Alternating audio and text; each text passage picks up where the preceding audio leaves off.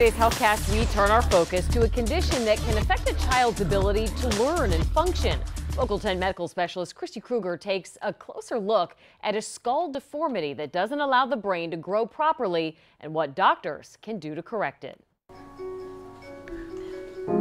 When their first baby Ellis was born last year, Abi and Peter Obre didn't really notice the slight ridge on the front of his skull. We were absolutely oblivious. Um, obviously, like many new parents are, their you know, baby is perfect.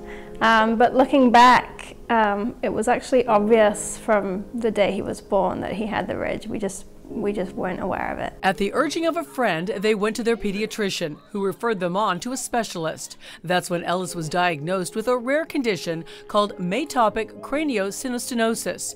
That's where the bones in the skull fuse together. I received the call about it. It was probably the worst phone call of my life.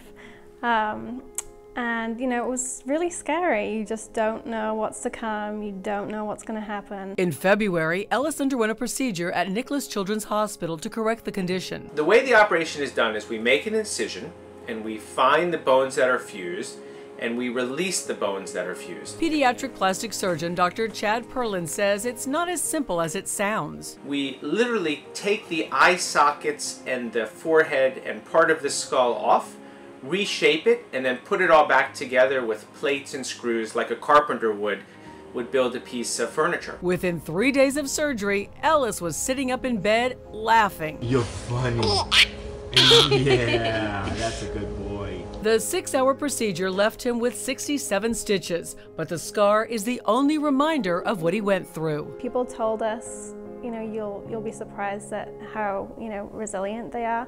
We didn't know how fast he'd recover or how well he'd recover. He's just, he, we're in awe of him. Well, ideally, the surgery really should be performed around the first year of life before the brain begins to outgrow the skull. Interestingly enough, the plates and screws used to reshape that skull, like hard candy, they're going to dissolve over time. With your HealthCast, I'm Kristi Krueger.